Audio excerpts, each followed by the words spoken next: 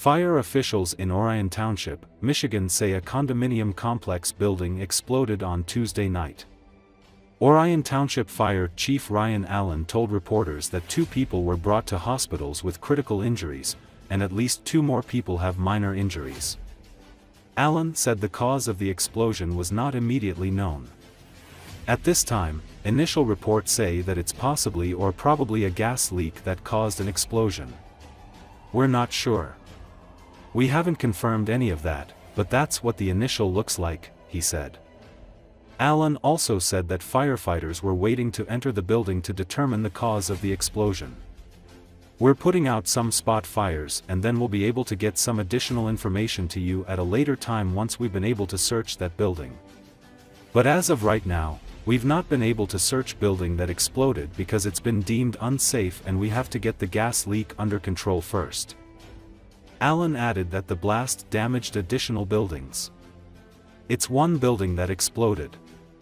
It did cause damage, significant damage to one other building. And it looks like minor damage to two or three other buildings. He said there are buildings in the immediate vicinity had been checked and deemed safe. He said buses are taking residents of buildings that are considered questionable to a separate location.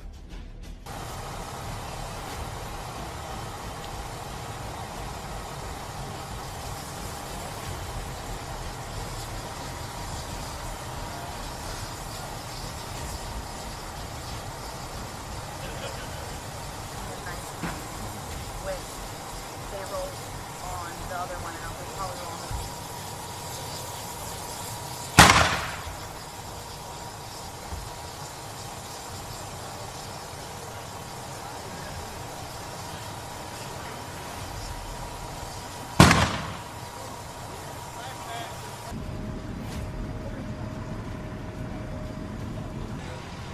And, you know, any of that probably could have gone.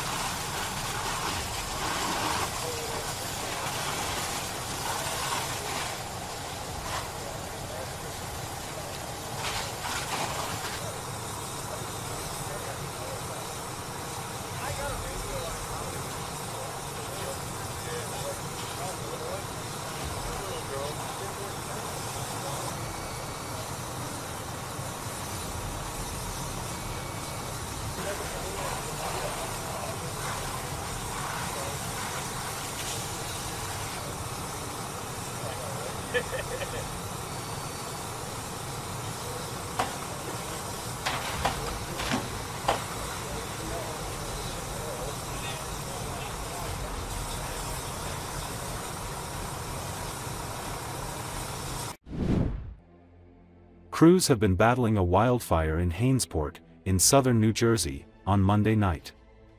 The New Jersey Forest Fire Service reported that approximately 20 structures have been threatened as crews work to contain the blaze. We don't expect the fire to grow much beyond 40 to 45 acres. At this time, no structures have been damaged, said Bill Donnelly from the New Jersey Forest Fire Service. Donnelly said on Monday night that there had been no evacuations or injuries. He also said he cause of the fire was under investigation.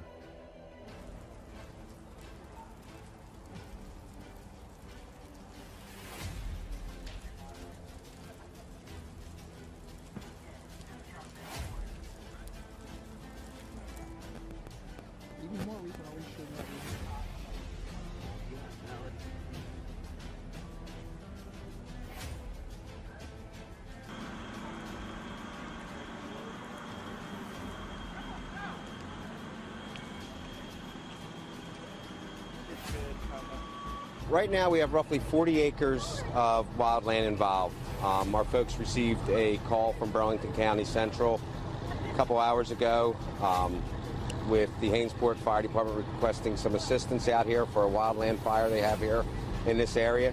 So currently, we have um, approximately 20 structures threatened. Uh, crews are in the process of trying to contain the fire. They're doing so by means of using uh, a bulldozer and using some natural barriers, as you see here, this asphalt and stuff like that.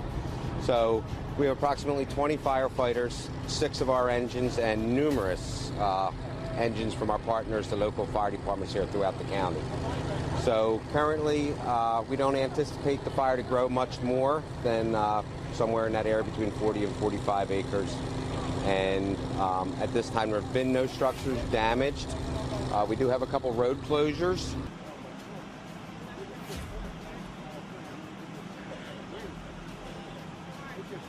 Yeah, I, that's the first thing I noticed as well. It's a normal night out. Like I thought I smelled it upstairs. I was getting chills. I'm like, Um, there have been no evacuations. No one has been injured. And the cause of the fire is under investigation. yeah. Okay.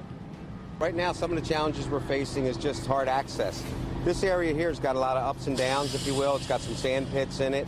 It's behind homes, which is always a challenge. Um, you know, going right in the back of people's houses, getting our equipment in there. Um, and just obstacles that you're not familiar with when you're running around in people's yards.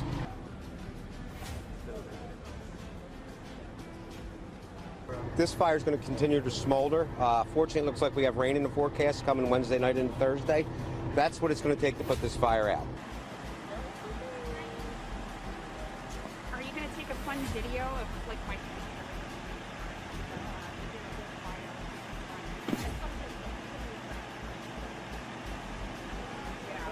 very scary.